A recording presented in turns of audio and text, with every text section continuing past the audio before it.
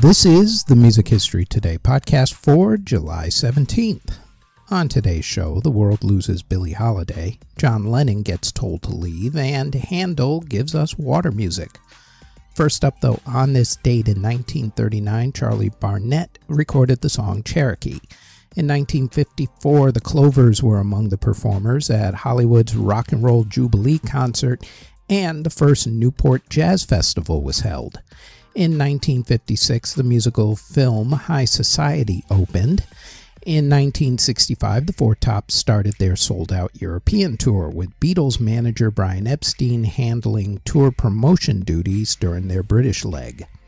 In 1967, the Jimi Hendrix Experience played their final concert as opening act for the Monkees. Yes, the Monkees. It didn't last long, that's why this was the final concert. Anywho, in 1968, the Beatles movie Yellow Submarine premiered in theaters. In 1970, the Guess Who performed at a state dinner for Prince, now King Charles, at the White House during the Nixon administration. In 1974, the United States government told John Lennon that he had 60 days to leave the country. He fought the order and eventually won. Also in 1974, the first quadraphonic recording studio opened in London, England. In 1975, Ringo Starr divorced his wife Maureen Cox. Also in 1975, Bob Marley and the Wailers played one of their landmark concerts, this time in London, England. In 1979, Gary Moore left the group Thin Lizzy. In 1981, the movie whose theme song by Lionel Richie and Diana Ross became a huge hit Endless Love premiered in movie theaters. In 1987, Keith Richards signed a solo record deal with Virgin Records. In 1990, Motown Records label owner Berry Gordy married his wife Grace Easton. In 1991, the surviving members of Lynyrd Skynyrd reunited. In 1993, Slash played his last concert with Guns N' Roses, at least until their reunion in 2016. In 2004, audience members walked out of a Linda Ronstadt concert in Las Vegas after she told the audience to go see Michael Moore's anti George W. Bush movie Fahrenheit 9 11. In 2011, Andrew Stockdale of Wolfmother was arrested in Australia for being drunk in a bar and interrupting a Beatles tribute band who was playing so that he could sing Let It Be, and then refusing to leave. And in 2014, the celebrity reality TV show LeAnn and Eddie about LeAnn Rimes and husband actor Eddie Cibrian premiered on television. In classical music in 1717, Handel premiered his piece, Water Music. In 1943, opera legend Marian Anderson married architect Orpheus H. Fisher. In theatre in 1958, the musical Five Finger Exercise opened in London, England, and in 1966, the musical It's a Bird, It's Superman closed on Broadway. In award ceremonies that were held on July 17th, in 2013, the French government made Bono a commandeur of the French Ordre des Arts et des Lettres. And I know I just butchered that whole entire thing. I'm sorry to the French speaking people. Albums that were released on July 17th include in 1967 when The Temptations released With a Lot of Soul. In 1970, the Bonzo Dog Band released The Beast of the Bonzos. In 1972, The Doors released Full Circle. In 1978, the soundtrack to the movie Sgt. Pepper's Lonely Hearts Club Band was released. That's the movie that had Peter Frampton and the Bee Gees. The movie bombed. In 1981, Journey released Escape, which didn't bomb, it became a huge hit. In 1982, Judas Priest released Screaming for Vengeance. In 2000, a-ha released Minor Earth Major Sky. In 2006, The Who released the EP Wire and Glass. In 2007, Colbie Caillat released Coco. In 2010, the Goo Goo Dolls released the EP Waiting for the Rest of It. And in 2012, Jack Bruce released Jack Bruce and his Big Band Live 2012, and Soul Asylum released Delayed Reaction. Singles that were released in the UK on July 17th include in 1981 when Electric Light Orchestra, or ELO if you prefer, released Hold On Tight, and in 1995 REM released Tongue. Meanwhile, in America, in 1962, Mary Wells released You Beat Me to the Punch, and Elvis Presley did a twofer. He released She's Not You and Just Tell Her Jim Said Hello. In 1965, the Righteous Brothers released Unchained Melody. In 1967, the Beatles did a twofer. They released All You Need Is Love and Baby You're a Rich Man. In 1972, Yes released America and Bread released Mother Freedom. In 1973, Paul Simon released Loves Me Like a Rock. In 1978, Donna Summer released Je t'aime moi non plus. And in 1995, Hootie and the Blowfish released Only Wanna Be With You. Before we continue, we'd like to tell you about the Music History In Depth podcast, where we go in depth on the history of some of the events from the daily version of the Music History Today podcast. The Music History In Depth podcast drops new episodes every Tuesday in audio and video form wherever you get your podcasts. We also have the Music Halls of Fame podcast, where we honor a year in music along with a member of the Rock and Roll Hall of Fame, along with who we think should be in the Rock and Roll Hall of Fame. Plus, we honor a different museum, Walk of Fame, or Hall of Fame. The Music Halls of Fame podcast drops every Thursday in audio and video form wherever you get your podcasts. Now, back to the Music History Today podcast.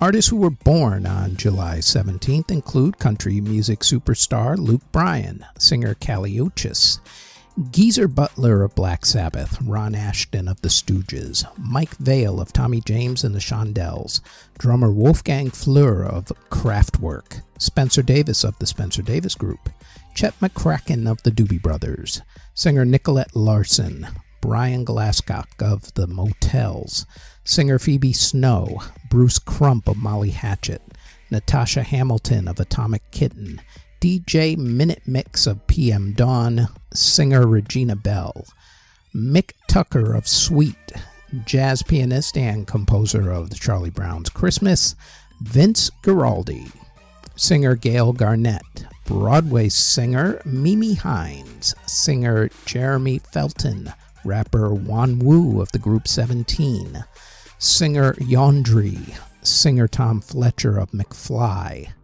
Kim Shattuck of the Muffs, singer Peppermint Harris, entertainer extraordinaire the legendary Miss Diane Carroll, composer Francesco Fanciulli, bassist Abraham Laboriel, singer Susan Ashton, guitarist Mary Osborne, and saxophonist Fudd Kendricks. Artists who unfortunately passed away on July 17th include composer Johann Kittel, who passed away in 1682 at the age of 29. Composer Pascal Collasse passed away in 1709 at the age of 60. Composer Wenzel Perk passed away in 1763 at the age of 45. Composer Jean Frederick Edelmann passed away in 1794 at the age of 45. Composer Christian Graf passed away in 1804 at the age of 80. Composer Joseph Gratz passed away in 1826 at the age of 65. Composer Benny Agresti passed away in 1851 at the age of 37. Pianist Karl Tausig passed away from typhoid in 1871 at the age of 29. Composer Gabor Matray passed away in 1875 at the age of 77. Composer John Farmer passed away in 1901 at the age of 64. The aforementioned composer Francesco Fanciulli passed away on his 62nd birthday in 1915. Composer Henri Constant Gabriel Pern passed away in 1937 at the age of 73. Composer Bonislaw Zulk passed away in 1955 at the age of 73. Songwriter Joseph Devoit passed away in 1956 at the age of 78. In 1959, jazz great Billie Holiday passed away from cirrhosis of the liver brought on by years of drug and alcohol abuse at the age of 44. She was arrested and handcuffed for drug possession and placed under police guard a month earlier as she lay dying in the hospital.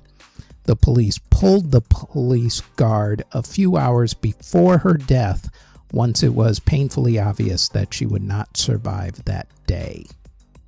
Sad ending to an extraordinary and troubled life. We go more into her life and death on our Music History In Depth podcast, which is on this network that you're listening to right now or wherever you get your podcasts. The episode has already dropped. Composer Luis Cosme passed away in 1965 at the age of 57. Composer August Berns passed away in 1966 at the age of 71. Jazz saxophonist John Coltrane passed away from cancer in 1967 at the age of 40. The legendary Mr. John Coltrane.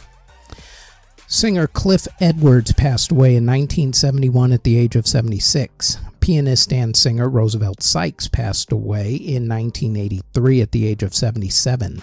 Singer and actor Jay DeLos Joix passed away in 1984 at the age of 89. Composer Czeslaw Marek passed away in 1985 at the age of 93. Jazz trumpet player Howard McGhee passed away in 1987 at the age of 69. Composer Rainer Kuhnert passed away in 1995 at the age of 58. Composer Carlos Malagat passed away in 1995 at the age of 91. Musician Amancio D'Silva passed away in 1996 at the age of 60. The bassist for The Animals, who also became Jimi Hendrix's manager, Chas Chandler, passed away in 1996 at the age of 57. Composer Ronald Tremain passed away in 1998 at the age of 74. Drummer Kevin Wilkinson of the Waterboys committed suicide in 1999 at the age of 41. Pianist Rosalyn Tureck passed away in 2003 at the age of 88. One of the pioneers of Jamaican ska music, singer Laurel Aitken, passed away in 2005 at the age of 78. Musician and songwriter Sam Myers passed away in 2006 at the age of 70. Singer Gordon Waller of Peter and Gordon passed away in 2009 at the age of 64. Musician and producer with Nashville's iconic A Team Session Musicians Group, Fred F. Carter Jr. passed away in 2010 at the age of 76. Jazz vibraphonist Peter Appleyard passed away in 2013 at the age of 84. Entertainer Elaine Stritch passed away in 2014 at the age of 89. Songwriter Gary S. Paxton passed away in 2016 at the age of 77. Entertainer Zizi Jeanmaire passed away in 2020 at the age of 96 and the opera director of the Birmingham Opera Company from 1987 to 2020. Graham Vick passed away from COVID 19 in 2021 at the age of 67. Next time on the Music History Today podcast, it is July 18th, when in 1991 the first Lollapalooza Music Festival began. Thank you very, very much for listening if you're listening on the podcast or if you're watching this on YouTube or Spotify video. As always, don't forget to like, subscribe, comment, and share this podcast. And if you like this podcast and you want more of our podcasts, then I invite you to check out our Music Halls of Fame podcast in either audio or video form.